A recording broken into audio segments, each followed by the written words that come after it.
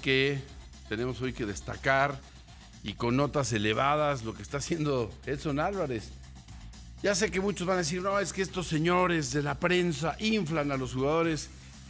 Y si estás de acuerdo conmigo, mi querido Christopher, si estás de acuerdo conmigo, mi querido señor Veraza, nosotros ni inflamos ni desinflamos jugadores. Los jugadores se inflan con su preparación física, con su profesionalismo, con su dedicación, con su disciplina, disciplina. Eso es lo que los infla. Lo que los desinfla es la indisciplina, lo que los desinfla es la poca aplicación en lo que están.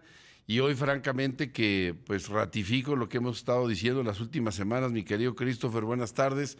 Edson Álvarez hoy se convierte en un hombre fundamental en el esquema del cuadro bajo del equipo del Ajax de los Países Bajos. ¿Cómo estás, Christopher? Bien, Pablo, con el gusto de saludarte, con el gusto de saludar también a mi compañero Juan Carlos, a todo nuestro auditorio que nos está acompañando en esta tarde de jueves. Eh, sí, eh, y he escuchado además, Pablo, agregando a lo que tú comentas, un tema eh, muy particular que se trata de la liga holandesa. Hay quienes se empeñan en minimizar esta liga, una liga muy importante, una liga que yo creo tiene una, una competencia Ahora interesante. habrá que decirle neerlandesa. Bueno, neerlandesa. Eh, pero, ¿qué, ¿qué, les hace falta? Hoy fue Europa League, octavos de final, ante el Young Boys.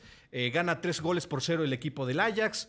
Ha venido siendo titular no solamente en Liga, sino también en este certamen el señor Edson Álvarez. Que esos son los certámenes que cotizan, Christopher, los, los europeos. Por supuesto, tiene, tiene, una gran vitrina, tiene una gran vitrina, Pablo, porque eh, sigue siendo allá en Europa, para los que se molestan y me siguen diciendo por qué no te vas a España a vivir o por qué.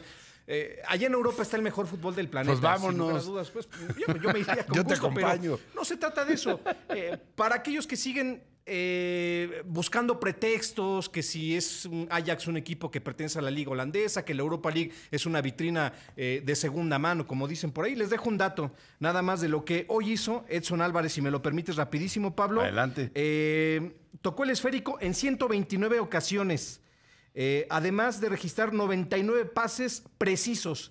99 pases correctos al pie del compañero, ganar 11 de 18 duelos y con esto, bueno, pues simple y sencillamente ayudar a que el equipo del Ajax de Holanda vaya adelante en este duelo, ida de los octavos de final. Entonces, se trata de hablar de lo que ocurre en la cancha, se trata de hablar de los hechos, no se trata de hablar de un jugador así, porque sí, hablabas de la indisciplina, Pablo, y de inmediato me vino a la mente un jugador que hace algunas horas fue separado de su plantel, eh, por no obedecer las reglas sanitarias, me refiero a Marco Fabián. ¿Y por qué me vino a la mente? Porque Marco Fabián tuvo la oportunidad de estar en el fútbol alemán, no fue disciplinado, ni en Chivas, ni en Cruz Azul, tuvo ni en el. Eintracht de Frankfurt, ni en Juárez, entonces es un lío.